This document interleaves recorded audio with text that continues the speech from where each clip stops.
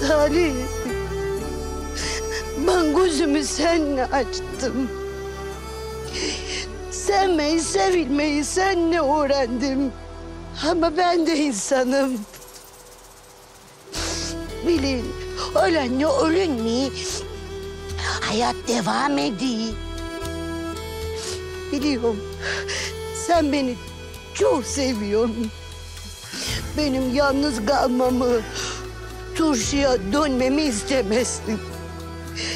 İzin ver, ben de yoluma bakayım.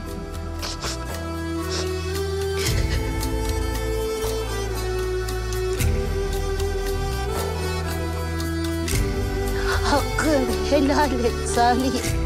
Görüşürüz. Abla. Ben de eniştemi ziyarete geldiydim. Hiç senin burada olacağını düşünmedim. İyi etmişsin. Rahmetli pek severdi seni. Derdi ki ben buraya yazayım. Kuzey mutlaka bir gün bu topraklara dönecek derdi.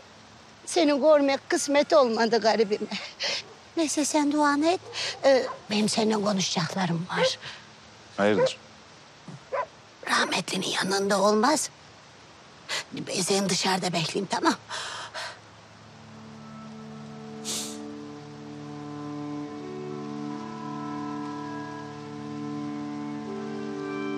Abla.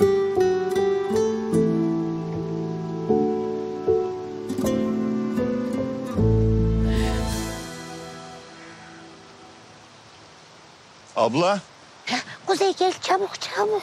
Çabuk. Ne oluyor kızım ne bu acele?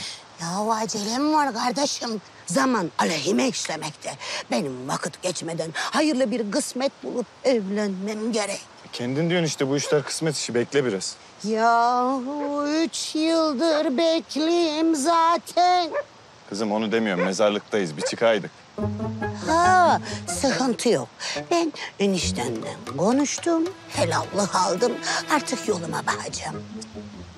Sormaya da çekiniyorum da. Var mı bari biri? Nerede?